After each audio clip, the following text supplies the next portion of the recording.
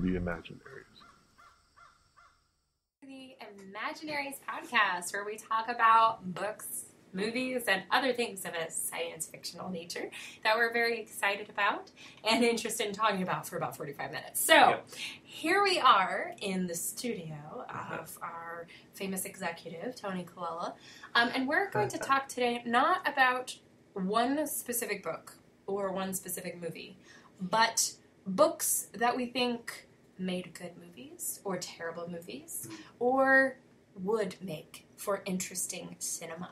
Mm-hmm. So, do you want to lead us off with your first book to discuss today? Yeah, so, well, before I do that, I want to say more generally, we're really thinking about the cinematic here. And what we're going to do is we're going to talk about about a dozen books that span from, I want to say, oh, how far back do we go here? Maybe the 60s. we're not we're not going back into like golden age sci-fi.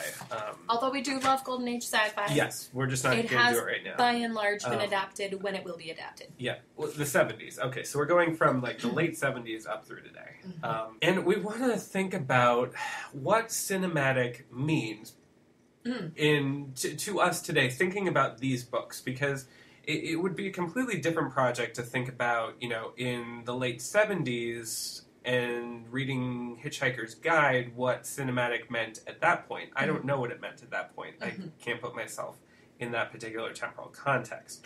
But what I can think about is if I read The Hitchhiker's Guide today, will that feel cinematic in a way that, you know, something that is contemporary may not? And basically, what we're thinking about today is whether it's on the big screen or the small screen, and whether it's on network television or premium television or a service like Netflix or Hulu or Amazon or whatever. You know, what sorts of books are being written that have an eye on adaptation Mm. in some sort of cinematic form. The reason why we were thinking about this specifically is, if you remember from our last podcast, which um, was probably good, and also it was so long ago. it was congested, which you probably recognize and recognize again today because we are Just- we're still congested. Um, but we talked about Ian McDonald's novel Luna New Moon, and one of the things that we didn't get to talk about, but that Kendra and I were talking about, is the fact that this is not a new entry in the Twilight series. yes, important thing to note. Definitely not part of Twilight. Luna New Moon. No colon involved on the cover.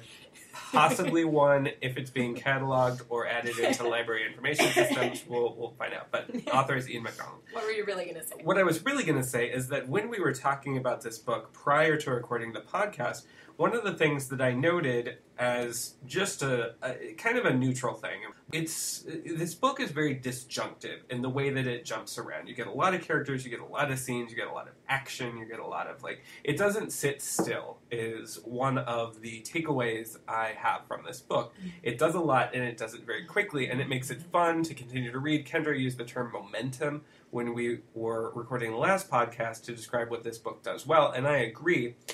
But to me, that momentum, that jumping through a lot of characters, jumping through a lot of scenes, showing a lot of action, is something that is very cinematic now. Mhm, Not necessarily emblematic of cinematic, but it, th- this book could be very easily adapted as a TV show in the current format. You know, 10 to 12 episodes, about an hour per episode, a lot of characters, a lot of jumping Mhm. around, a lot of world building, um, and it would it could be successfully done. So, and, and my my relationship to that was one that is kind of I, I said neutral. It's not quite neutral. I have feelings about it, but. When I read a book, I don't want to feel like I'm reading a well written Wikipedia article for a television series. I want to feel like I'm immersed Mhm. in a book. Like Mhm. what I'm reading is necessarily a novel, not that it's another form. It's not Pretending. a scaffold for something else better to follow. Right, right. And I don't want to imply that this book was that, but there are certain books and series that I feel like are coming out where the writing is not at the front, the character development is not at the front, the plot is not at the front, nothing's really at the front. It's just sort of this pretty sketch of what could be a television series, and that sort of writing may be a lot easier to accomplish because So let's name names. Are we thinking or are we not thinking about the James S. A. Corey series Leviathan Awakes and the rest of the Expanse series. I was thinking specifically of Game of Thrones, Mm. but but that's fantasy. If Yeah, we were to right. translate this to sci-fi, That's if we're to All right. narrow our gaze a little bit. yes, yes. Then I would say The Expanse totally counts because before we do a podcast that specifically talks about The Expanse, I want to revisit the novels because I think that I, I had the same potential problem that I had with this book in that the chunks in which I was reading were too small to really get a, a full sense of the, the momentum in the world. Mhm. Um, but the, the experience I had with that book, with that book series, is that the books themselves were not very good. I couldn't get into the characters. I didn't really follow them. I didn't really care about anything. It seemed overly complicated and like a good a good roadmap for a series. And then I when I watched the series, I really fell in love with it, and I really Mhm. liked the Mhm. world, and I liked the characters, and I liked Kudos, what was sci-fi. going on. Yeah. Um, but the book I was not really impressed with. So We're speaking specifically of the first entry in the series. yes, we are. Yes, yeah. I think I think I would agree with everything that you've said, in in part because um, I do feel like Leviathan Wakes. I believe that's the name of the first book. I think so. um, was written with an eye for adaptation, like a lot of books today. And I think that without naming names to call them out on the carpet and make fun of them, I think a lot of YA books are written with an eye for adaptation.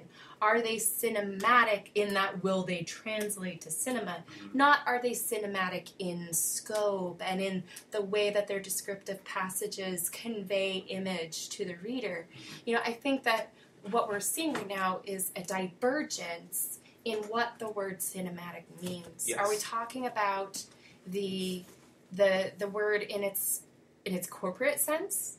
Like, is this going to earn money for us by being a, a an adaptable book, Yes. or is this a book that is cinematic in that it really it's imagistic? Mhm. It conveys all the things that a film would Mhm. through its prose. Yes. And I think that that for me is um, the true heart of the cinematic book, Yes. and that's what we didn't see in The Expanse, yes. which is cinematic in that it adapts beautifully into Oh, yeah. the screen. Yes. And putting James S. A. Corey, or at least one of the two authors who call themselves James S. A. Corey, in the writer's room of the show was a really smart idea. Mhm. It had the coherence of, of a book, Yes. but it also had the visual coherence that the book itself lacked. Yes. Yes. I agree. So let's talk about a few of our other books that we have. We have massive piles of books surrounding us We right do. now. We do. Massive piles because Yes. Tony and I both accrue books at an alarming rate. Um, and we wanted to talk about some books that have been adapted, some books that possibly should be adapted or are personal favorites for any reason, really. Uh-huh. But we wanted to talk about books that are cinematic by Yes. nature and books that have been adapted and whether they are cinematic according Yes. to our terminology or not. Yes. So- Yes. Um, I'm going to start off actually with a pair of books, both of which were published originally in 1974, Mm. neither of which has been adapted into a movie um, or a TV show or anything on any sort of screen. The Dispossessed by Ursula K. Le Guin and The Forever War by Joe Haldeman. I love the Dispossessed so much. I, yes, I, I chose these books because I, I love both of them a whole lot. And they're both of a time. Both of these books I read for the first time within the past five years. oh, they're so Um, good. They are so good, but like reading them in, you know, reading them post 2010 Mm. is a really different reading than reading them post Vietnam War, like Mm. immediately post Vietnam Mhm, War mhm. for the Forever War, or you know, thinking about the social, political, cultural Mhm. context in which they were written and then immediately read. But what the reason I wanted to choose both of these is that even though they are from the same year, were published in the same year, they're doing very different things. The Dispossessed is a much quieter, more personal book. A lot of it is in in terms of the scenes that we get, dialogues or small scenes between a couple of different characters, two, three, four, with some notable exceptions. But I, I chose this specifically because the first time I ever came to the, to the Dispossessed, I didn't read it. I was on a long road trip and I had what I thought was an audiobook copy of The Dispossessed. Mm-hmm. What I actually had was an audio play of The Dispossessed, Goodness. which was different but not super different. Like, you know, all of the That's same so moments were there. But it was interesting that my first exposure to this book was in this format that necessarily was all dialogue. So there was there could be no prosaic elegiac description in the way that Ursula Le Guin does it in the book, Mhm. because everything had to be from the mouth of a character. Mhm. Um, so, and, and then coming to the book, again, the story was not all that different. There were some scenes that had been exploded in the audio play that were not in the book, but more or less the same thing. Um, again, pretty quiet, pretty personal. Mhm. The Forever War, on the other hand, is also intensely personal, but is necessarily action driven in that it covers a war that spans thousands of years and is on a whole lot of different locations, like from the Black Rocks at the beginning to multiple different visions of Earth, like again, thousands of years apart, to a, a far, far, far problematic for today future where all the characters are gay and it's basically like utopia where I, I Is- forget is it. that we think that the future is? Like the future is just gayer than we are? My fingers are crossed. I mean, everyone's fingers are crossed who's in, in, in our particular alphabet soup. Yes, But yes, agreed. So the reason, the, before before you say anything, the reason why I chose these I'll two um, in, in in combination is that neither of them has been adapted. They're you know they're of a time, their own Mhm. place, and they could have been easily. The Dispossessed is a movie that would have worked probably. Um, and I'm thinking here of like going into the 80s, even so, like the 10 years after it was published, in that climate when Sigourney Weaver got nominated for Best Actress for the role she had in Aliens.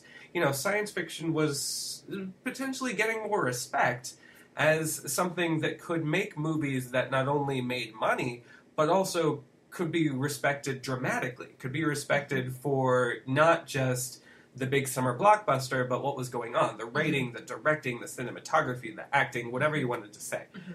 And so it could be like, you know, a thoughtful little little piece that had a lot of great acting in it. Whereas the Forever War could have been adapted into this big, again, personal, in that we would have had a, a couple of starring folks who headlined this movie or, or potential television series, but you know, included a lot of action, including a lot of shooting and a lot of fisticuffs in space and and battles between ships and battles between people on planets and like it would have been very exciting. And we saw neither of those.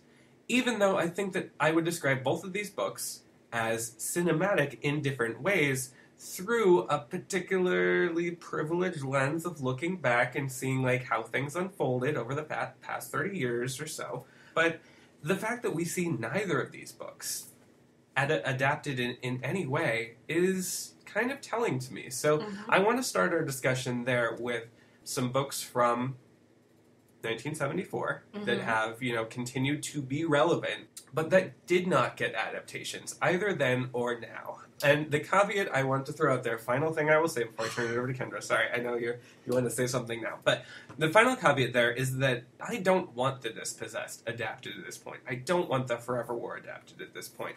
Uh, these are books that can be can be enjoyed, can be appreciated, can be uh, taken out of their particular temporal context, and still, you know, you can still like them today. Well, and I think that they're both cinematic in the sense that they evoke all that they need to Yes. in a written form. Yes. And this is probably going to be a central tension when we talk about a lot of stuff today is that I don't know that you could make a movie outside of the temporal context in which these books were written.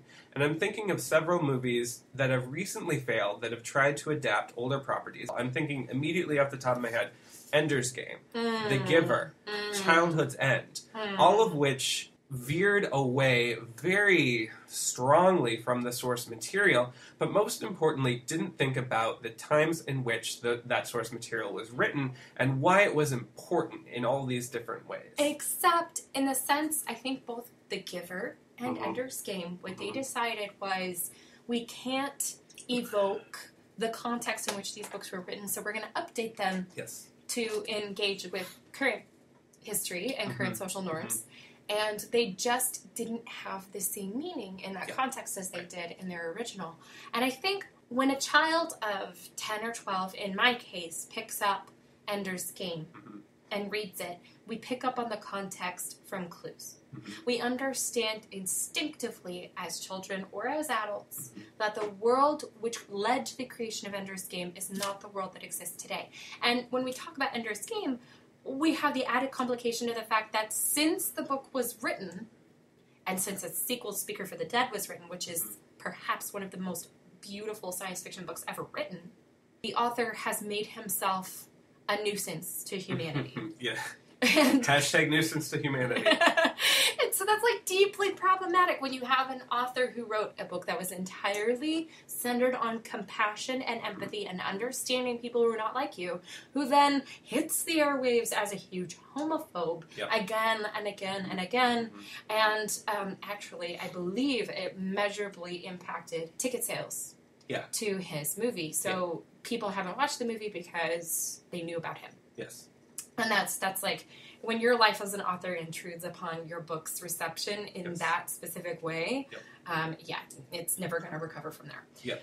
so i wanted to talk about a couple books i actually want to derail this a little tiny bit Go to for it. talk about books that either have been adapted Yeah. um, or are in progress of ad- adaptation so i'm going to Uh-huh. talk about briefly one of my favorite film adaptations of a science fiction novel of all time which is cloud atlas and I'm also going to talk about Margaret Atwood. She has two series currently in production that will be released, I believe, over the next year one to Hulu and one to Netflix. And that's Alias Grace and The Handmaid's Tale. And I wanted to talk about uh, the cinematic in these particular contexts. So, a lot of people do not like the Cloud Atlas film adaptation.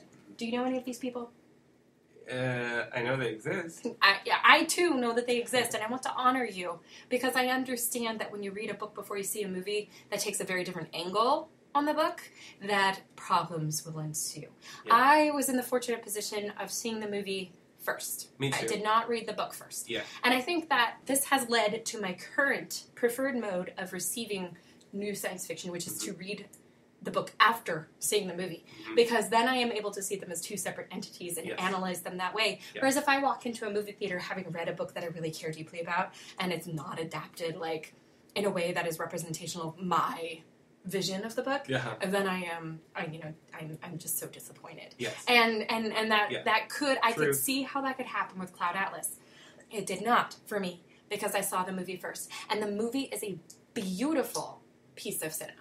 I think that the ways in which they evoked some of the structural components of Cloud Atlas, the book version, uh, were really imaginative, using makeup and um, special effects in order to create continuity between characters who otherwise are disconnected structurally was really fascinating. And it created through lines that wouldn't have existed otherwise when you're cutting between is it six different continuities I think it's more than that. I thought it was like seven or eight. There's- It could no, it's six. I It's think you're right. six. I think it's six. so yeah, there yeah, are yeah. six stories happening simultaneously in the film and that's the only way to get through them without making it feel like mini movie one Right. mini movie two, Right. mini movie three, which the book, when you have it divided that way, it reads fine. Yeah. Um, and the book itself is actually structured using um, a biblical, an Old Testament biblical structure Hmm. where you have a divot in the middle and everything gets chopped off roughly in the middle of one story. And then the next story begins and it gets cut off in the middle of the story. And the next story begins and gets cut off in the middle of the story. And only the central story is continued start to finish. Mm-hmm. And then the fifth story picks up and ends, then the fourth story picks up and ends, then the third, so on and so forth. This creates structurally a V shape. And at the mm-hmm. bottom of the V is the most important story upon which hinges a lot of the plot devices in which you are taught as a reader um, why the structure exists. Mhm, mhm. And it crystallizes a lot of the interesting work that's being done by David Mitchell. Yeah. Fascinating. Doesn't work in a movie. So I think what the movie did was actually really brilliant. Yes. I don't think that it looked at the cinematic elements Yes. of Cloud Atlas, the book, and said, not interested. There was enough material out there that was cinematic that adapted well to the corporate cinema experience Yep. that they were able to create something that really did honor the original text. Mhm. And it possibly also helps, and this is my question mark for you, Tony. Mhm. I think it helps that this was a recent publication. Yeah. Because I Yeah. think when a book is new and you have all of the immediate response to the book from the public out there on the internet for editors and Yeah. publishers and readers and uh, you know, all of this material is out there to draw upon as a, a film or television producer. I think it helps you find what's important to pull Mhm. into a cinematic version, whereas something that was maybe published in the golden age or maybe even the dispossessed in the Yeah. 70s, Uh-huh. a lot of the initial reactions took place. Outside of the internet, Mhm. of course, because Mhm. the internet didn't exist as it does Yes. today. That's my theory, but I, I wanted to get to my next book, but you have a question. Yeah, that's super important to note because one of the big, big things that I wanted to bring up here, specific to science fiction on television, is that when we think of sci-fi now, and you know, any time in the past, God, almost 25 years now, like it's just sort of accepted that we can have things like storyline continuity and basically a book over a season or over a series mm-hmm. or something like we can do a novel on television and i really want to point to babylon 5 as the series that you always want to I know. I always Babylon want to point to Babylon Five, but I want to point to that specifically as a series that that sort of pioneered that for science fiction, at least, and what a science fiction novel on television. I forget what the term was exactly that J. Michael Straczynski used for it, but I think it was something like that. That you could tell basically an involved story that counted on every prior episode to build towards the current episode and the ongoing story and the ongoing character arcs and things didn't get reset and things made sense and had to continue making sense because everything was adding together and you didn't really see that before like i'm thinking even of like the change you saw in the Star Trek series between like Next Generation Mm. and Deep Space Nine, and like you went back on it on Voyager, and I don't want to get a lot into Star Trek now, but I think that not taking that for granted is a big thing. But the reason why I wanted to mention that now is that Babylon 5 was really around at the beginning of the internet when people were Mm. investing in it, where, when fans were investing in it, not just by going to like cons and getting together and like, but but the fact that people were on the internet using you know the the tools that were at their disposals Mm. in the mid 90s to talk about the show and get invested in it and form this fan community was, I think, as unprecedented as the show itself in terms of what it did for I think it was one of the possibility. the defining events of the internet was that people derailed it yes. from being a military application Yes. used to communicate formally with each other Yeah. to communicating very informally with complete strangers about your your fan interests. Yep. I think that this transformed in the early 90s the potential of the internet from what it could have been to what it is. Right. Which, I mean, the internet is where we go for knee jerk reactions today. Yep. It wouldn't have been originally. No. We had zines for that. Yeah. We had like Right. book clubs for Yep. that. Yep. Nobody goes to book clubs anymore. I can say this with authority as a librarian. It is not common for book clubs to be a success these days in the way that they used to be Mhm. because they used to be the primary mode of engagement with like things that you loved. The, the second book I wanted to mention, Yes. Let's talk Margaret and I did Atwood. I did mention it actually. now I'm going to talk about it. Is Margaret Atwood's The Handmaid's Tale. Alias Grace is interesting. I think what it's going to do is between Alias Grace and Handmaid's Tale adaptations, we're going to have an interesting thought experiment to explore my question of Hmm. whether timeliness of the publication is important or timeliness Mhm. of the of the social structures portrayed within it. Because in the case of The Handmaid's Tale, what we have is a world that has reverted Mhm. to the world that existed around her writing this book originally. So obviously we have seen some progress in our world. Gay marriage is now like legal. Um, but there are things that we seem to be kind of going backwards on. And I'm not going to name names, but Donald Trump and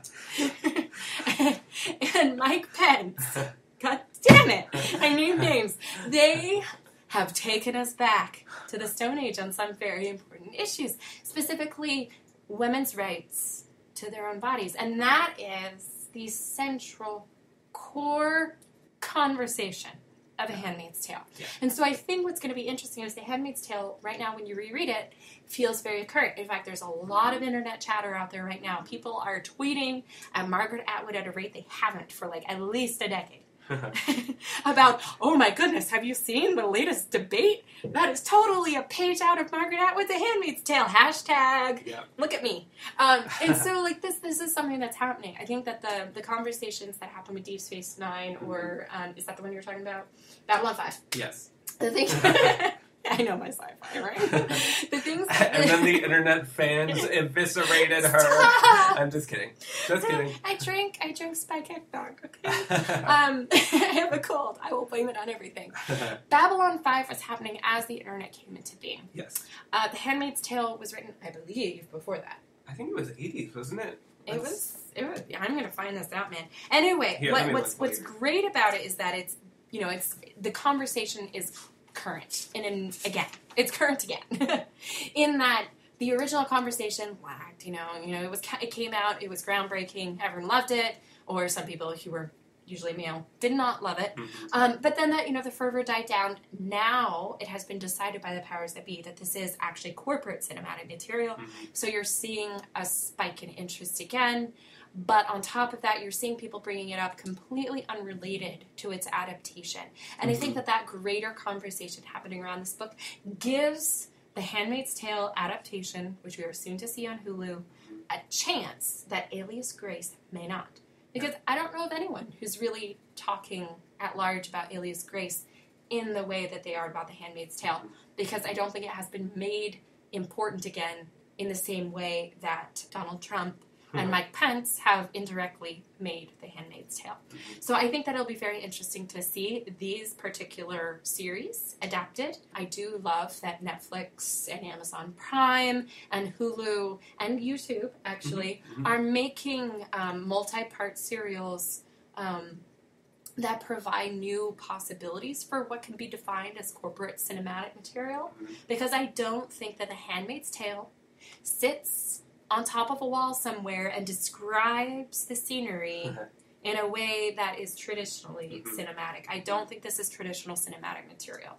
Yeah. Um, from my long time past reading of Alias Grace, Mhm. I think it had maybe a touch more. But I think that what we see here are two books Mhm. that could go very, very wrong. Mhm. Cloud Atlas was a book that went right. Do you have any other books on your list of, of, of books that might kind of cast light on what's cinematic and what's not? Yeah, so I was thinking, uh, Handmaid's Tale was 86, by the way. Uh, 86! yeah. Uh, which, is 30 years old. Congratulations. It is, yes.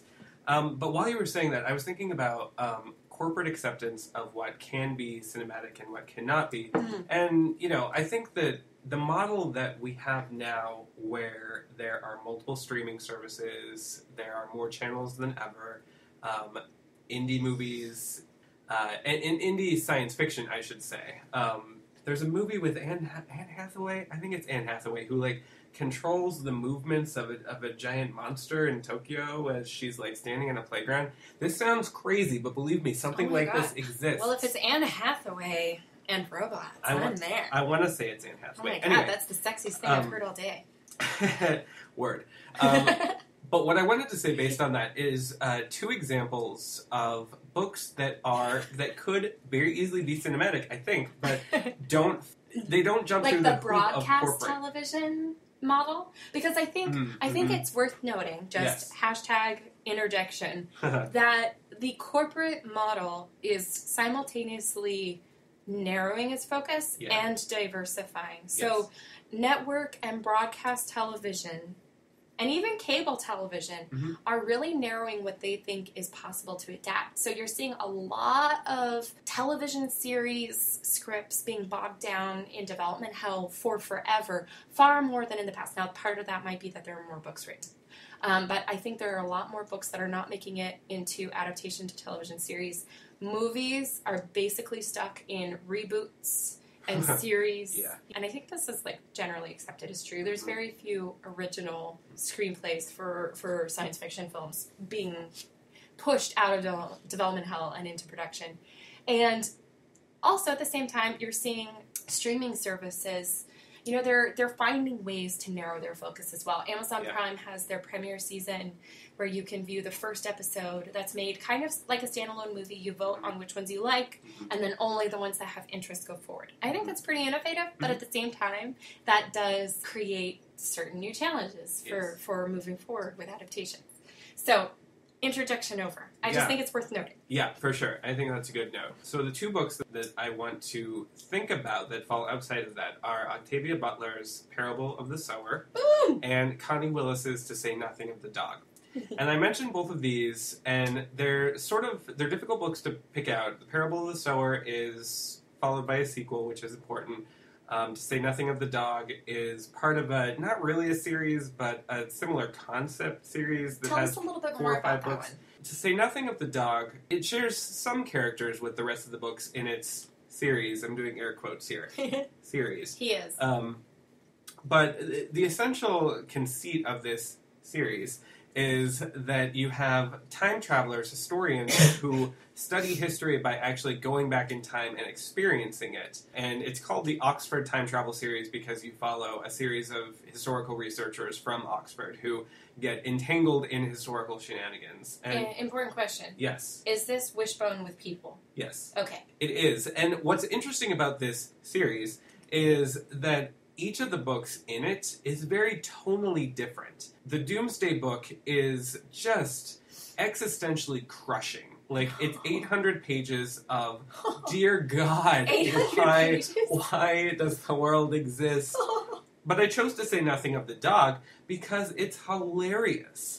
It is fun and it's ridiculous and it relies on wordplay and situational comedy and I chose it because time travel comedy is absolutely something that's been made in the past 10 years and made successfully. And maybe a Connie Willis book would not be adapted into like a frat guy time travel comedy. But at the same time, I think there's definitely machine. Is that what you're thinking? Hot tub time I haven't machine? seen it, but that's Oh that's God. sort of what I was thinking. this this is a book that would have some staying power because Connie Willis is an awesome writer, Mm. and this could be adapted in a really funny way. And like, especially if you were to take the Downton Abbey crowd, of which I am a member, like the period piece folks, like this is basically a period piece made funny with time travel. That's amazing. And Uh, Matthew Crawley, am I right? and that could absolutely be a successful thing. And yet, no Connie Willis book ever has ever been adapted in any form. Same thing Do you know why? Do you know why? I'm I'm going to speculate, but please tell me what you're thinking. I think because funny is Mm. really hard. Mm, And we're going to talk about another funny book that was adapted and has some question marks on it. yes. Um, you will be familiar with it. Douglas Adams. Yes. Yes. Continue. Um, so the obverse of "To Say Nothing of the Dog," "Parable of the Sower" Oh. by Octavia Butler, I love her so much. is a book that is uh, tonally similar to if you read uh, The Road by Cormac McCarthy. I don't know. It's it doesn't hit a lot of the same notes, but I think that it would if if you were trying to adapt this movie like the elevator pitch for Parable of the Sower could invoke the road in some way Can or you imagine- apocalyptic. Can you imagine the elevator pitch for another of her books, which I love, Lilith Brood? hmm Like, Mhm. okay, so I have problems with Lilith Brood on the matter of consent, which we talked about last podcast Mhm. about Luna New Moon. But Octavia Butler does really interesting, serious work, Yes. I think. Yes, yes, she does. And the reason why I wanted to choose her is that Octavia Butler is so wicked smart, Oh, wickedly damn. smart, and she refuses to be silent. She refused to be silent about racial things, Oh, about ethnic Mhm. things, about sexual things. Like she is someone who. ugh, God, I can't. I can't. Even, I can't even have the words because I, I like Octavia Butler so She's much. doing the but- little thing where your hands become like shaking little maracas yes, because yes. you're so in love with the thing. Yes. So the reason why this book is so wonderful and so difficult to read is that Octavia Butler does not look away from anything, and she does not let you look away from anything either. And I think that's one of the reasons why this book has not been adapted, why none of Octavia Butler's books have been adapted, because they're cinematic. They would be successful either as movies or as television series. And I think that the, the parables could be successful television series. But the problem with it is, and I'm going to go back to Game of Thrones again, like because No. because we so see so much problematic sexual violence ah. on Game of Thrones, oh, Damn. and they present it in this way that doesn't find it problematic. If it's we were because it's historically accurate.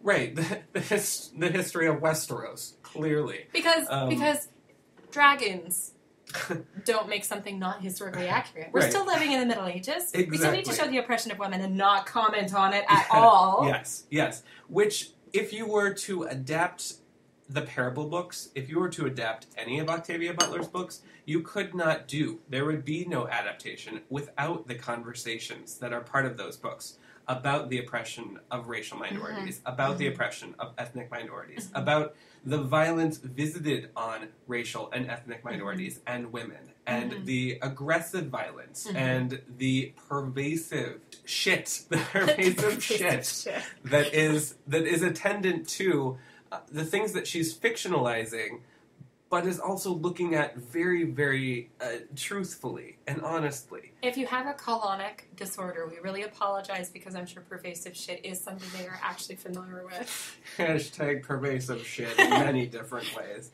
But I mentioned both of these books because they are definitely not similar tonally, but they they're also both part of canons of work from women who have not been adapted. Mm. ever on television or in the movies, but who definitely have written books that are totally cinematic, could totally hold your attention Mhm. in the way that a lot of science fiction that does exist and has existed can do and could do it better with you know the right adaptation obviously i'm thinking i'm thinking here of a book and a book is a very different media property Mhm. than a movie or a television Mhm. show so it would take a whole lot of work on the part of the creative team involved so i don't mean to say that thinking of a book and what i visualize as the movie or the television show would obviously be superior to all the science fiction that exists Of even course. even though that is what i just said but I, i'm acknowledging that it, it's more complicated. Tastemaker Tony strikes again. Yes, exactly. Let's talk about a movie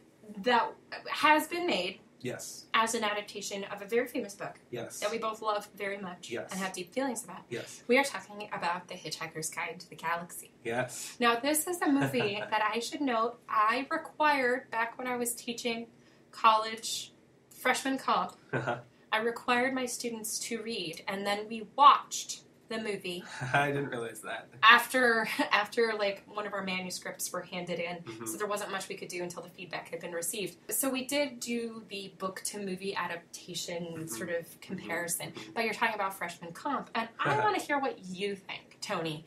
Do you think that I think it was like 2005 or something that the Yeah, right. the film Uh-huh. starring Bilbo Baggins was a success?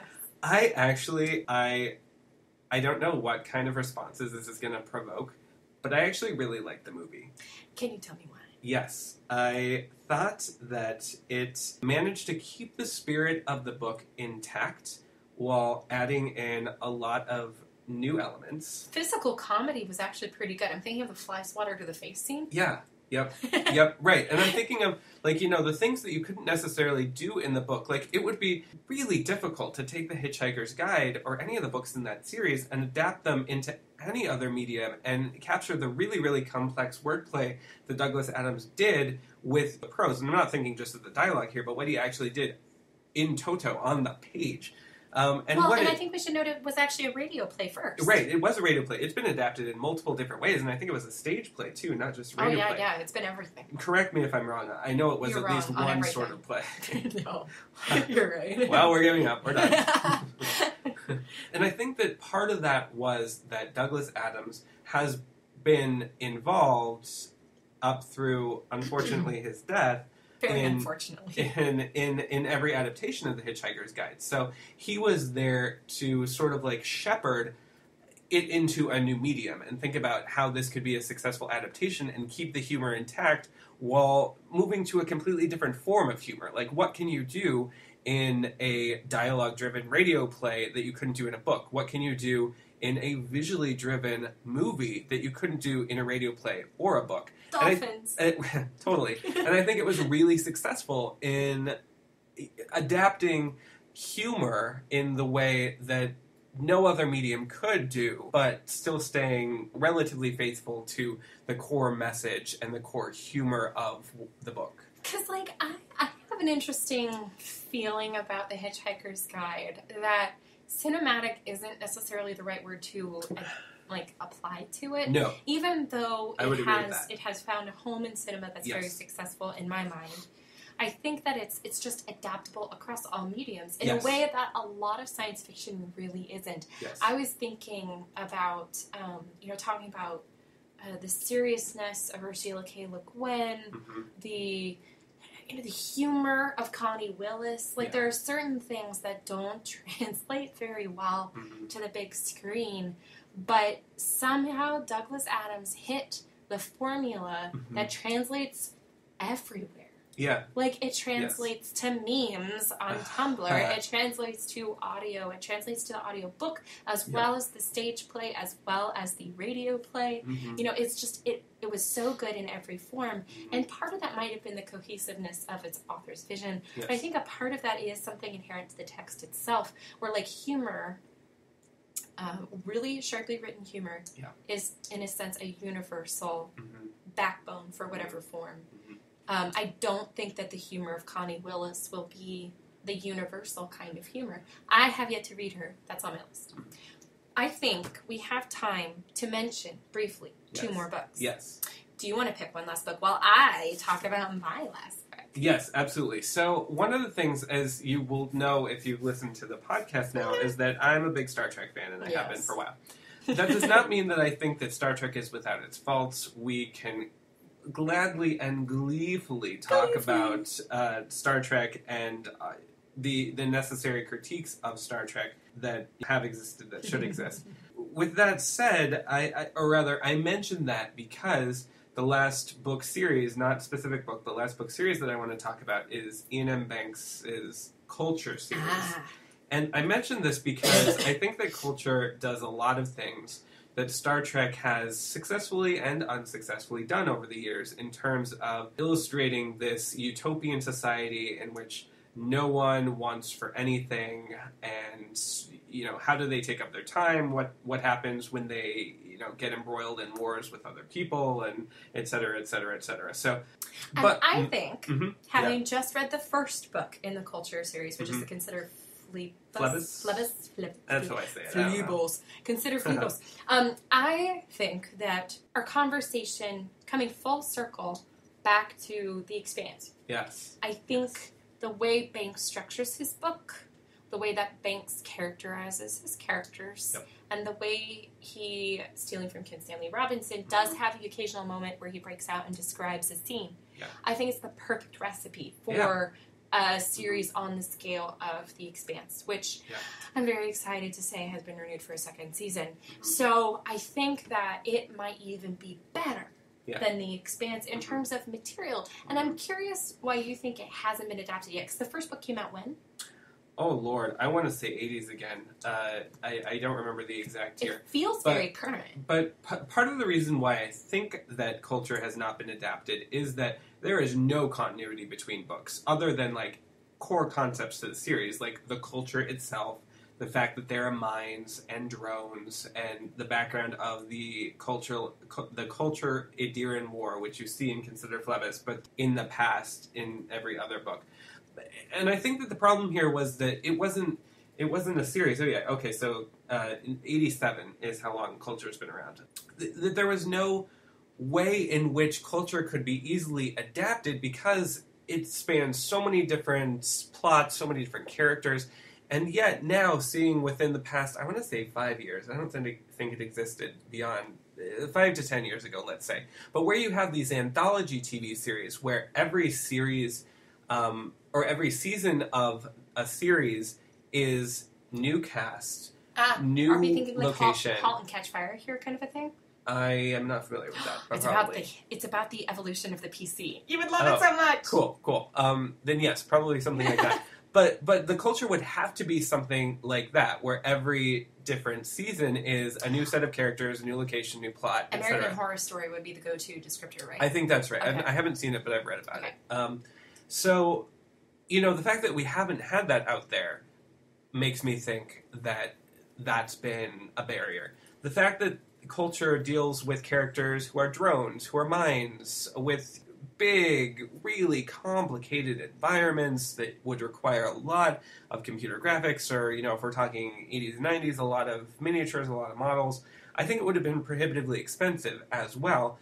But if we wanted to adapt it, now the ways exist and the templates exist and the precedents exist for culture to be made into a really successful television series, I think. Uh, and I would like to see it out there because, as far as optimistic visions of humanity, and by that I mean where we get to in the culture, that there is this utopia where people can afford to be bored and devote their lives to pleasure is something that we don't really have outside of Star Trek. There is no optimism.